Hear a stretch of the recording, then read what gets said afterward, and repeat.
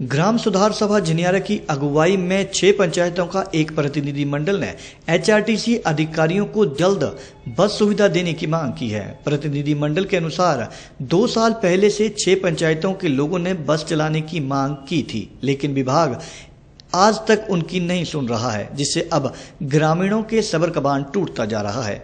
लोगों ने मांग करते हुए कहा कि हमीरपुर से बाया जिनियारा अमरोपसल बलडूक जीण बड़ा होकर नदौन तक चलाई जाए। शाम चार बजे के बाद स्कूली बच्चों व अन्य क्षेत्र के यात्रियों को बस सुविधा नहीं मिल पा रही थी जिस कारण लोगों को दूसरी प्राइवेट वाहनों से यात्रा करनी पड़ रही है। एचआरटीसी के आरएम कार्यालय में परमिट न होने की बात पर ग्रामीणों ने आरटीओ कार्यालय पहुंचकर सारी जानकारी जुटाई और जल्द परमिट जारी करने की मांग की। हुए और डीसीओ चिट्ठी लिख, लिख चुके हैं इनको लेकिन आज दिन तक हमारी ये डिमांड पूरी नहीं हुई। क्या?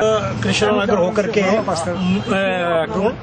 अमरो पस्तर तक एक बस लगाई जाए शाम को चार बजे क्योंकि चार बजे के बाद यहाँ कोई बस नहीं है हमारे हमारे बच्चे हमारी औरतें इतनी प्रॉब्लम है जिसका हिसाब कोई नहीं है।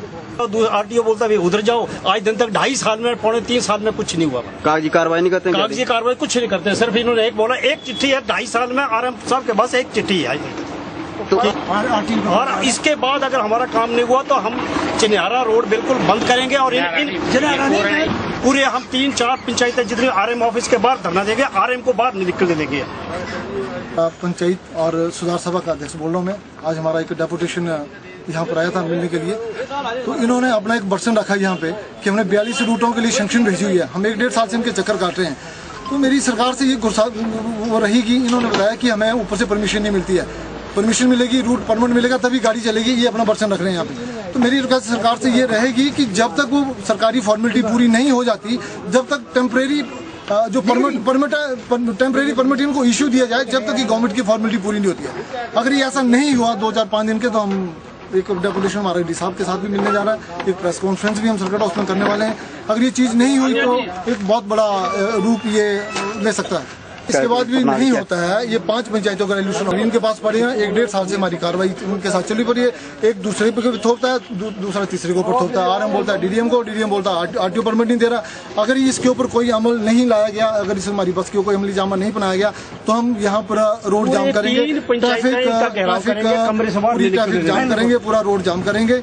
और ये पाँच पंचायतों के लोग हैं कोई अकेले नहीं।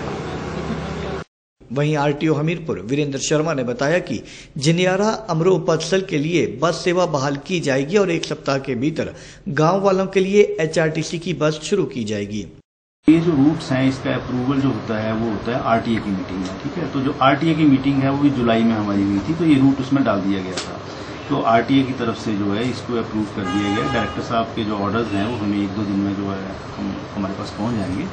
तो उसके अकॉर्डिंगली एचआरटीसी को डायरेक्ट भी कर दिया जाएगा कि जो रूट इन्होंने कहा था, क्योंकि एचआरटीसी के रूट होते हैं एचआरटीसी ने जो रूट की डिमांड की थी, उसको अप्रूव करा दिया गया है। अप्रूव कराने के बाद ये कॉपी जो है इनको प्रोवाइड कर दी जाएगी और उसके अकॉर्डिंगली जो है इनको डायरेक्शन दी जाएगी कि ये जो उस रूट के ऊपर बस चलाएँ।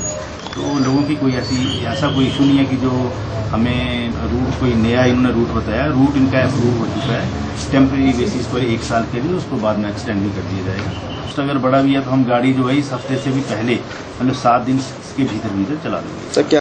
प्रतिनिधि मंडल में बलवंत सिंह पूर्व प्रधान Pyarchand captain Roliya Ram R R Rohan R K Dhiman सहित कई वरिष्ठ नागरिक विशेष रूप से मौजूद रहे।